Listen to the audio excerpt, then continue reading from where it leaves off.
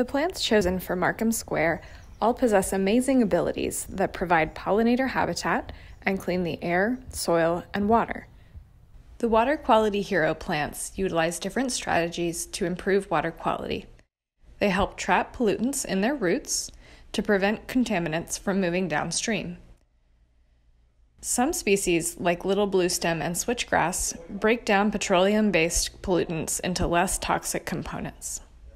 By cleaning stormwater runoff, plants protect our drinking water supply and enhance habitat for downstream neighbors like fish, turtles, and birds. In addition to their phytoremediation powers, many plants here provide food and habitat to crucial pollinators. Arkansas pollinators like resin bees, the brown belted bumblebee, and the red admiral butterfly ensure that agricultural crops produce healthy yields and strengthen genetic diversity amongst flowering plants. Globally, pollinator habitats are in decline due to decreased habitat and widespread pesticide use. We can help by planting diverse, native, water wise species in our local landscapes.